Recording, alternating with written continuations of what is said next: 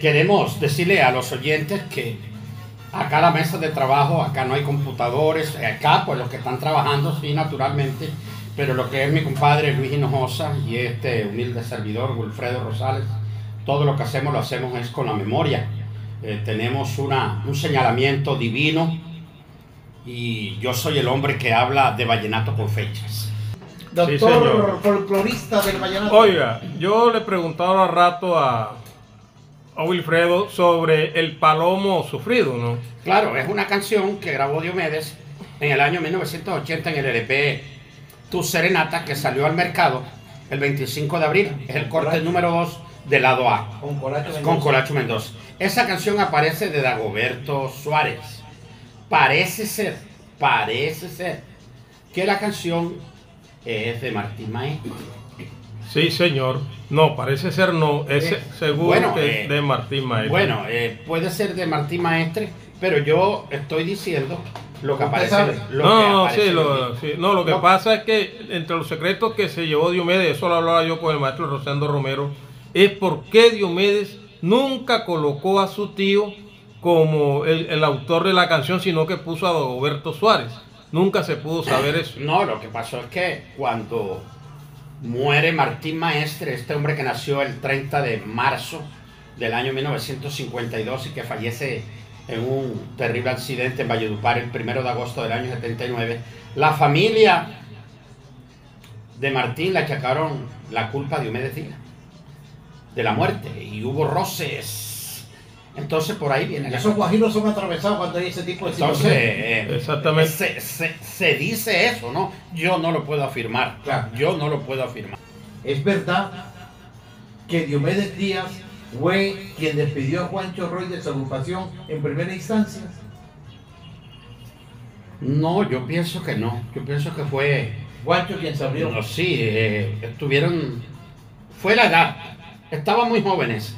Ellos no deberían de haberse separado después del tremendo LP, La Locura, que salió al mercado el 13 de julio del año 1978, donde vienen las canciones El alma de un acordeón, La Piedrecita, Lo más bonito, Amores escondidos, Sol y Luna, Vendo el alma, Acompáñenme, Lluvia de verano, La egoísta, eh, ¿cuál más? Eh, la carta. Eh, no, eso fue mutuo acuerdo. ¿Qué decían en la flotica?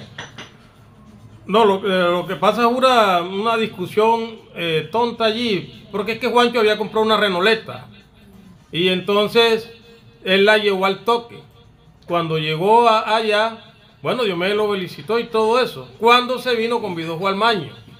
Entonces, Maño Torres, el al, bajista. al bajista, su gran amigo toda la vida. Entonces, eh, no, no le gustó a Diomedes. no le gustó a Diomedes y le, hicieron como un mal comentario al ambiente. Entonces, no se sabe si Diomedes fregando. cizaña, como siempre. Fregando, digo, bueno, entonces que grabe de ahora en adelante con Maño. Y eso se lo dijeron a, a Juancho. Maestro Wilfredo, hábleme de esta canción. Hábleme de esta canción. Hábleme de esta canción. Hábleme de esta canción del cacique de la Junta y por qué no fue grabada en estudio. Bueno, es que no es la única, mi hermanito. Hay una serie de cantos que no grabó Diomedes Díaz y que las hizo famosa sin haberlas grabado. Es el caso del tropezón de Adolfo Pacheco. Excelente. Es el caso también eh, del cordobés de Adolfo Pacheco. La primavera florecida del gran Lorenzo Morales. Eh, la última palabra ¿Y esta es de quién? Esta es de Leandro Díaz. Eh, tiene varios nombres. Eh, lo llaman el salao en el argot popular, pero la canción se llama El hombre de malas. Eh, la grabó Alfredo Gutiérrez en el año 1974 en un LP titulado Camino Agreste. También lo grabó el gran Debe López en el año 1980 con Julio Daza en un LP titulado Con Amor y Cariño. También lo grabó Fabio Zuleta Díaz. Él grabó un LP en compañía de Poncho Cote Jr. e invitó a varios acordeoneros, entre ellos Raúl El Chiche Martínez, Álvaro López, Iván Zuleta. Y él también grabó esta canción, este merengue, que Diomedes lo caseteaba, pero que nunca lo grabó. Lo mismo que Diomedes también caseteaba la canción eh, El mal herido de Leandro Díaz. Vengo a cantar en este merengue los versos que él dice un amigo. Son muchas las canciones que Diomedes caseteaba. Es más, la canción Palomita Volantona. Él la caseteaba y la caseteaba hasta que la grabó con Juancho en el año 1990. La canción... eh, El hermano Elías. Sí, el hermano Elías también, pero otra canción que él se cansó de, de- de tocarla hasta que la no se molesten. No sufran de- tanto. no sufran. esa canción la tocaba él con Colacho desde el año 1982. ¿Cuántas canciones tiene Diomedes con letra de mujer o le dedicó a las mujeres? No, con título de mujer Título será. de la mujer. Título de mujer. Bueno, vamos a hacer ese ejercicio. En el primer LP vienen dos canciones con título de mujer. Teresita de Nafer Durán y Laura de Jaime Hinojosa. En el segundo LP viene Cristina Isabel. En el primer LP que grabó con Colacho Mendoza, María. En el segundo LP que graba con Colacho Mendoza, Consuelo, Rosita y Mary Bolívar. 79. Mm. En el año 1985 con, Colacho, con el coche Molina, Joselina Daza. En Fiesta Vallenata. No, Fiesta Vallenata no. Matildelina. Matilde, sí, Matildelina en Fiesta Vallenata. Diana. Diana también. en el año 1982. Eh, otra, otra. María Esther. María Esther en el año 1989. María Espejo en el año 1999. Con el acordeón de Franco Argüelles. Zunilda en el LP en 1981. Palmina. Palmina de que creyó Diomedes que era de Calixto Ochoa y por eso la graba. Cuando él llama a Calixto, Calixto, te grabé dos canciones, ¿cuáles cacique?